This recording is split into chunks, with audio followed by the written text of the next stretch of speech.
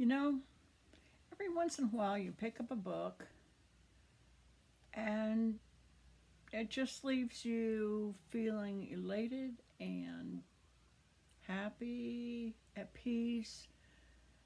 It makes you know that there are a lot of things that we have no control over that are wonderful, even though bad things happen. If I'm speaking rather simplistically, I'm sorry. This book has left me feeling very warm and wonderful, and it's a beautiful book. Was written, oh, I forgot to say, hello, this is Mrs. Mer Mrs. Mrs. Murder, and I'm going to just introduce you to Peace Like a River by Leif Engel. Leif Enger. I keep E-N-G-E-R. I keep saying Langle.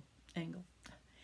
At any rate, I think I picked this up when I was in Minnesota because he's an author from Minnesota.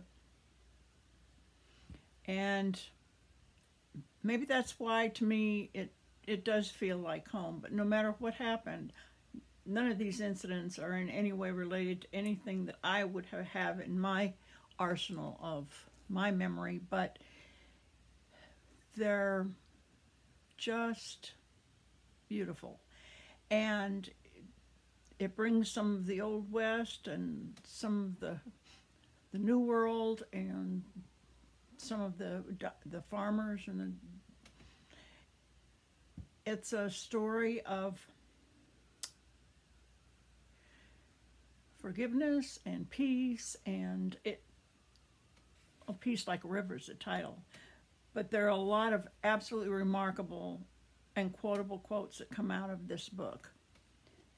This author is i think he wrote this in the 60s but this is his best-selling debut.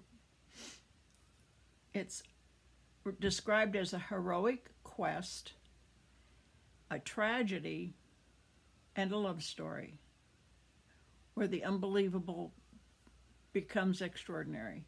It's just, it just draws you along. I read this quickly and I have to admit, I was so excited to just come and say, this is the greatest book. This is wonderful. I love this book. It's just, and then I toned it down and then I waited a week and now I'm just here to show you the book to tell you if you read it it's unlike any other and to me it's unlike any other. And you will love it. I could read if you pick up a book and just read some of the quotes out of the book you you'll understand that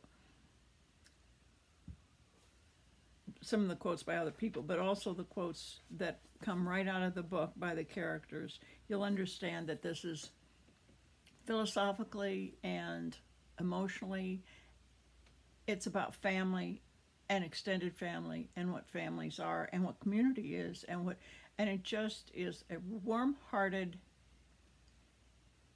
not without its ups and downs and peaks and valleys because there's a lot of excitement in it. It's not just a plot along at all.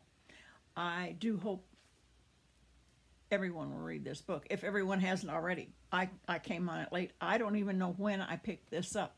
It was in my bookcase and I went, hey, how did I miss that one? I think I'll read this one. And when I started it, I couldn't put it down. It is just a great read. Look up Peace Like a River by Leif Enger, E-N-G-E-R. You won't be disappointed. I sure wasn't. Bye.